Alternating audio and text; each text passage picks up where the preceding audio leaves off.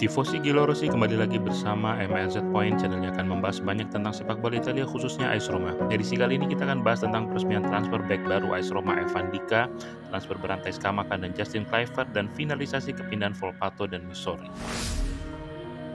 AS Roma akhirnya mengumumkan rekrutmen kedua mereka, back yang sebelumnya memperkuat Eintracht Frankfurt, Evan Dika kini resmi menjadi pemain AS Roma. Evan Dika resmi menandatangani kontrak dengan klub AS Roma hingga 2028.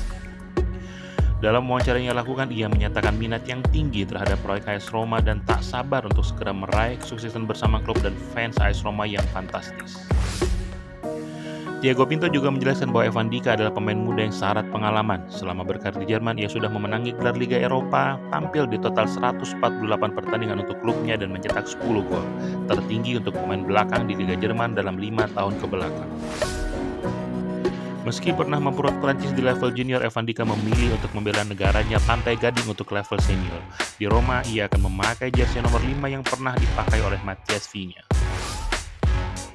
Macetnya transfer Skamaka ke Roma mungkin akan segera menemukan akhir. Roma tampaknya akan segera merampungkan transfer Justin Kluivert ke Bournemouth dan akan menerima setidaknya 11 juta dari transfer tersebut. Matias Vina juga dikabarkan kian dekat untuk kembali ke klub yang ia bela di paruh kedua musim yang lalu. Roma diperkirakan akan mendapatkan dana yang cukup dari transfer kedua pemain tersebut dan menstabilkan neraca keuangan mereka sebelum dapat merekrut Skamaka untuk kembali memperkuat AS Roma.